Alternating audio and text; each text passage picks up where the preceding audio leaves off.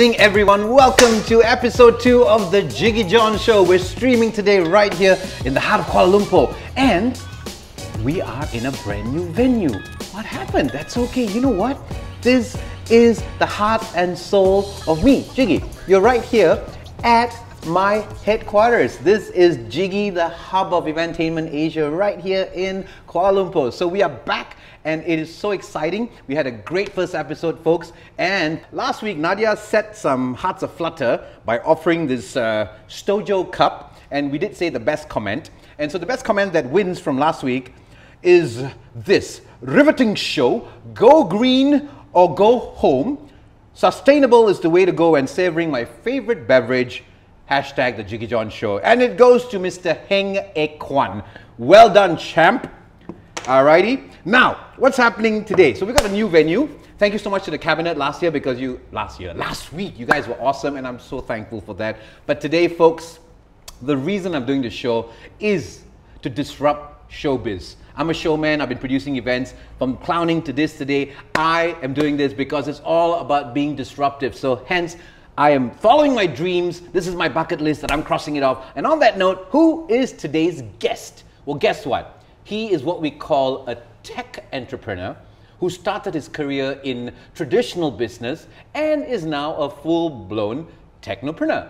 Ladies and gentlemen, please welcome to the show, episode two of the Jiggee Jon Show, streaming live from Kuala Lumpur, Malaysia, Mr. Aaron Sarma. Hey, what's up, man? What's up, man? How you doing, buddy? Doing good. Thank you for joining me on the show today. Congratulations. It's a was a great show last week.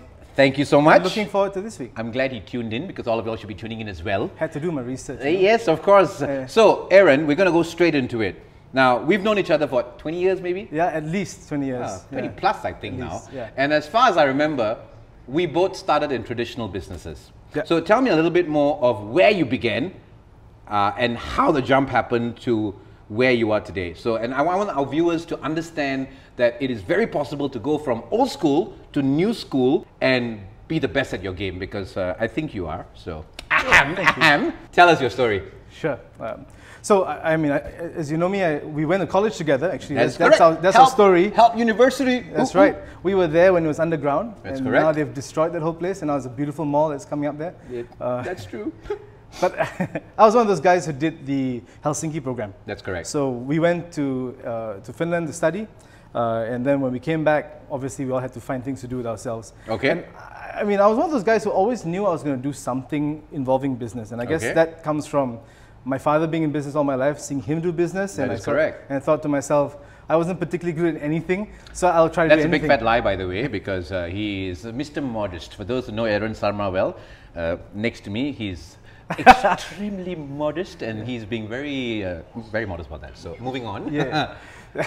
okay, you're too kind. But yeah, so uh, when, I, when, I, when I got back, I want, didn't know what I was going to do with myself. So my first job was actually in an advertising agency. I didn't know that. Yeah, like I, I short stint, six months. I didn't know what, I, I mean, I went for a bunch of interviews, didn't like any of the options that I had, and then Very I thought to cool. myself, uh, you know Nicole from Facebook? Nicole Tan. Yeah, right? So, Okay. uh, so at the time she was in advertising, I thought to myself, huh, she looks like it's a really exciting job. I didn't know that. Yeah, so I'll, I'll try a stint. So, We need to get on the show, by the way. You should. I'm putting it out there, Nicole Tan. I'm coming after you, whether you like it or not. Yes. sorry, Nicole. Uh, yes. Thank you. He started it first, yeah, yeah, so I'm coming my- after you. I own it, it's my fault. okay. Uh, so, but I, I, I was there like for six months because while I was there, somebody introduced me to network marketing. okay. So I was one of those guys who joined one of those companies. Forgot about Uh, that. yeah, yeah, and Holy smokes, Omega Trend. yeah, yeah, this is way back when. And you joined too under me. Oh, Under Yeah. Mini. Mini. Mm. So uh, I had no idea what I was doing, but I thought this was interesting. Yeah. Uh, I enjoyed the vibe of the thing. Uh, long story short, I, w- I, in like two years, I rose to the top of that business. I remember that. Uh, and I was the youngest in the history of the I company to do 24 that. or 25 at I that was like- point? yeah, to, um, about 24. Just Okay. about 24. Okay. Uh, after that, um, I decided I wanted to do other things. And Yep. actually, at the time, my father had businesses as well. So I, correct. I joined him for a couple of years doing that business. I know all about that because we did events for you. Yeah, exactly. Yeah. So Jiggee did events for his traditional businesses. And today I'm doing work with him in his new age businesses. That's why I got him on the show because this man knows his shit. you also did my wedding, just so. Oh yeah, that's right. I was that's his wedding yeah. planner So, as well. Yeah, yeah. this is getting juicier and juicier. Yeah, yeah, So, a lot of cronyism and nepotism. at exactly, work. and then you But invite we me are on the show, and what people I will think, right? Uh, But truth be told, folks, this is a genuine story, and I think for you guys out there who may be contemplating getting into business, especially starting from ground zero, I think he's got a great story, and we'll come back to that more later. But tell us quickly of your foray straight into new age business. Sure, I was just going to go there. So Okay. like, actually, it, it took a couple of years. Yeah. Uh, I knew I wanted to get into tech because I thought it was interesting, and I've Yeah. Mm. always been a geeky kind of guy. Uh, well, uh, yeah, yeah, yeah. I- I- Kononnya geeky. yeah, yeah. I remember I used to go into all the computer shops, and I, but I knew I, I had no idea what tech business was all about, right? Okay. So, but there was a time when Groupon was getting really popular. That is correct. If you remember, like in the 2010s, 2011. It was a and- craze. yeah, and they just bought this company in Malaysia uh, called GroupsMore. Okay. By Joel Neoh and at the time, right? And they and, and Kylie, and they became this We'll put your thing. Yeah, you don't Not know my thing, no. Okay. And so I was like, wow, this is interesting business. And Okay. I remember talking to a friend over one Mamak session saying, Yep.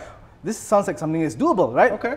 Um, and lo and behold, just a week later, it's completely unplanned. Okay. Somebody calls me and says, hey, we looked at your profile. Yes. Would you mind being the country manager of a Singaporean entity that wants to open in Malaysia to be Oh. employee number one?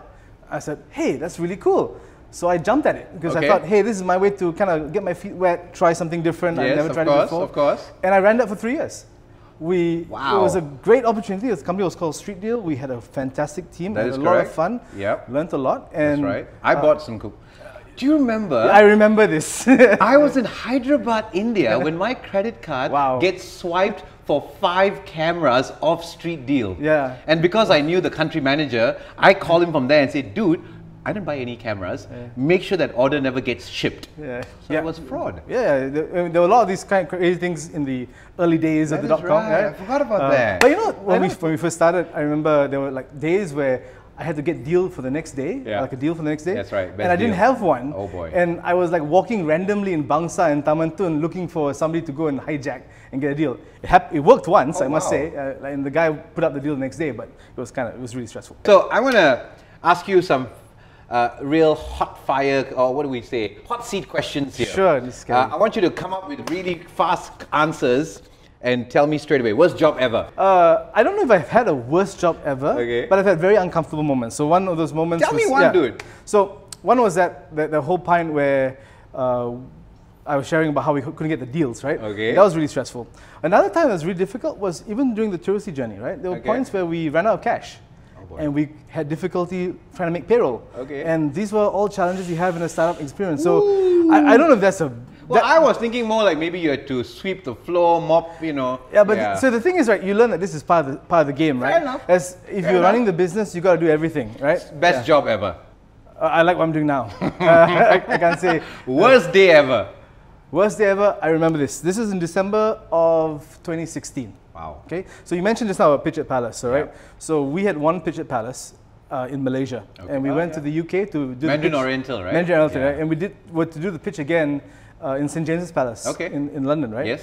Uh, and that, that event was in December, right? Okay. Right after the pitch in Malaysia, which was I believe in June. Okay. That's when I had the chat conversation with Tony Right. about acquiring the business. Okay. So we were already talking about this deal, and I knew it was going through. We uh, had, went through the board, got approved. We knew it was happening. Yep. But the money in the bank was dropping and dropping and dropping and dropping and dropping. Okay. And I and it was getting really really stressful. Okay. And I remember, if I'm not mistaken, it's the 23rd of December, just before before I mean everybody had left for Christmas, Mm-hmm. and I was alone in the office, and I was thinking to myself, man, it's really like the best of times. And the worst of times. I've got a deal that's coming that's going to be Yeah. fantastic for the business. Going to take us, going to take us to places we never dreamed of, Of before. course, of course. At the same time, there are real world problems as well. So that was like a very trying moment for me. Yeah. Well, but you're here today, which Yeah. means you made it. So straight away, best day ever. Best day Hey, hey, ever. hey, I was the there. day my daughter was born. I going to say the day he got married, but Yeah, well, yeah, yeah, daughter, daughter more important, so wife will understand. Yeah, wife will understand. Without her, it would never I exist. So, understand. yeah. Favorite thing to do? Favorite thing to do: have a cup of coffee in the morning Uh-huh. and unwind.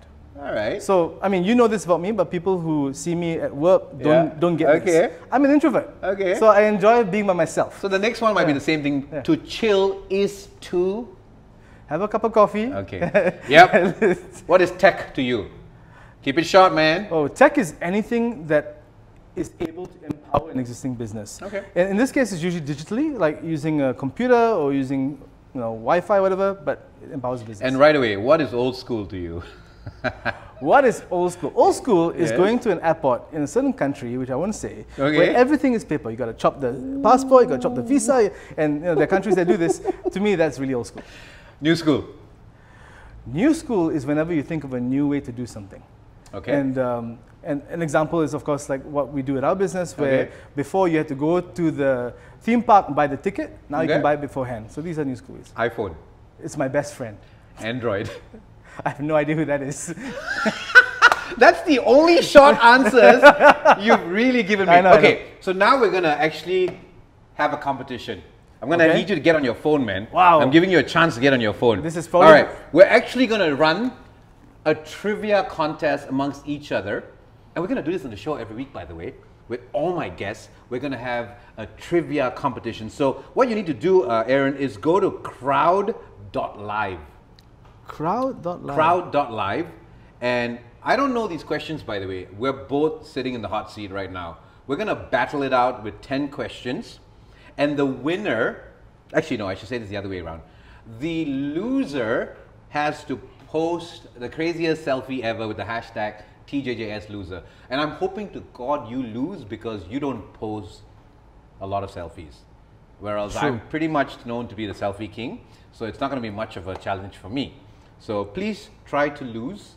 Although, just so you know, the questions are about tech and general knowledge. Okay. So you're probably going to whoop my ass in the tech business. I don't know. See. Are you in crowd? I, I'm in the website, but I don't know what the code is. it's TJJS. Duh. TJ. All right. So get in there. Okay. Now you got to log in with a name. Okay. And if you're in and you're ready to play, we're actually going to start the competition. Sure. Are you in? I'm in.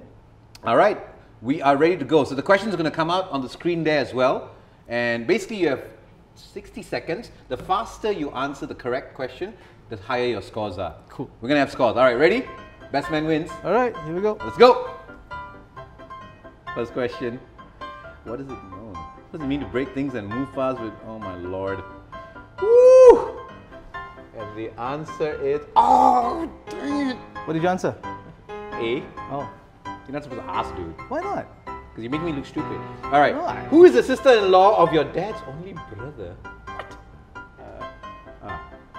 Wait. What? Oh. Oh! What did I just do? I just. I got. I fell for it. I just fell for it. Yeah. Exactly. Okay. Ah. Aleng, I wish you were here to help me. A good friend of mine in uh, San Francisco. She probably knows the answer. All right, hey. What is the I answer? I know this answer. Oh, yes! Yeah, not too bad. I think I'm ready to join you in the business. I got my shit together, yo. All right, what's next? Ah, I think I'm ready to be a unicorn. Anybody want to invest in Jiggee? Cheap bastard. Selling himself publicly. I knew it! All right, okay, three more questions. Man, I hope you're gonna lose, man. I like how he's got a poker face going on. Wait, nah. Your moment of truth is coming. What's the answer? Right. All right. Two more to go. Who's it gonna be? Oh, oh, oh boy. Yeah, I, I think it's that. I think it's that. Ah! Woohoo! I'm ready to go into the startup world, yo. And the last one. What is composed? Oh, what? 50% nitrogen? What? Are you kidding me? Um, oh my lord. Okay, I'm just gonna whack. This is what we call hantam, whack only. Oh man! Seriously? Alright. No way! I lost! So, Dude! That's not fair, man. Alright, you're, you're the smarter man. Okay, so I'll get to the hashtag at some point in time. I'll take the picture with you if you want. Oh, really? Yeah. Okay, let's do that. Actually, there we go. Yeah, okay. That's what we're talking that's about. All right, so, all right. I'm not sure I understand. Yeah, Siri Yeah. doesn't even understand Siri- Aaron yeah. taking a ridiculous selfie. That's pretty good, actually, dude. Okay, so what's happening now is um, I want to announce next week's challenge. So, to all our viewers out there, the challenge is actually not really much of a challenge, but here's what's going to happen. Uh, we've got Aaron here today, and the man knows his stuff.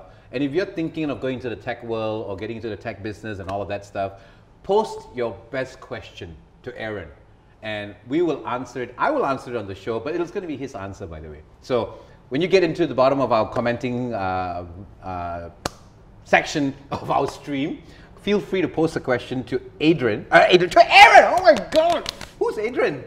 20 years and all that. Come on.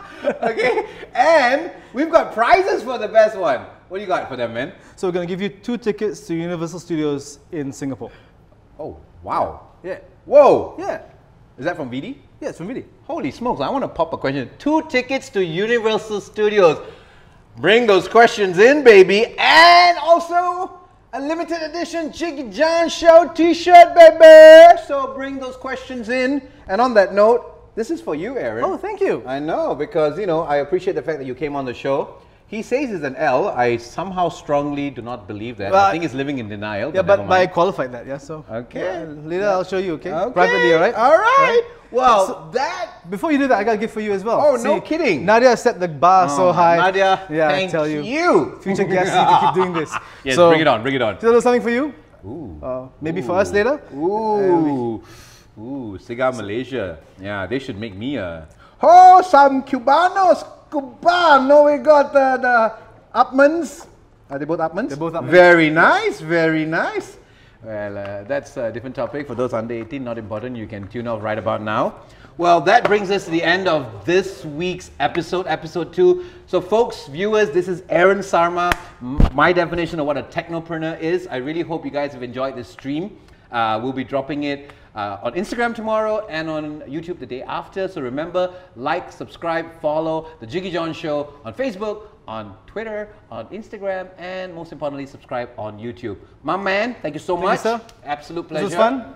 I, I really hope uh, you enjoyed yourself. I enjoyed myself. And uh, I think you, it was apt to have you on the show because you have been disrupting your segment of the market, and this is what I believe is going to be the start of something to come. And remember, we've got something to talk about. Oh, by the way, yeah, we've got some unfinished business. So watch this space, and I'm just going to leave it out there because Sure. you know we, you know what I'm talking about. So, folks, it's been a pleasure. Thank you so much. My name is Jiggee Jon. This is episode two of the Jiggee Jon Show. Uh, really hope you guys enjoyed today's stream. Looking forward to the comments, and stay tuned for episode three. We'll be back a week from today, every Wednesday, 8 o'clock, streaming live, the Jiggee Jon Show. Over and out, baby.